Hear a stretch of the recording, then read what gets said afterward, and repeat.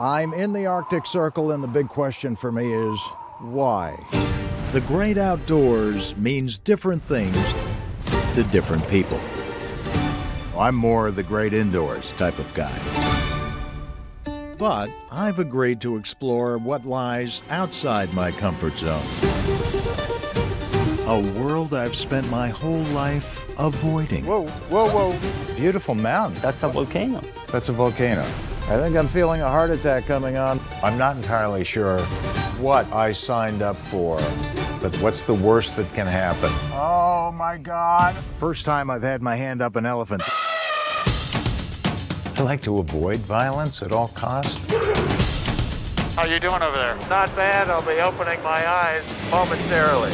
Just surviving would be great. You need some help? No, I got it. There is a world outside the resort. We always try to find the positive way. Pura vida. Pura vida. It's about what's really important. Nature,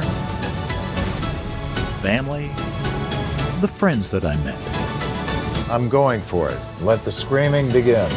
Oh my God. Oh my God. Oh my God. This is the last time I have five vodkas with a Finn.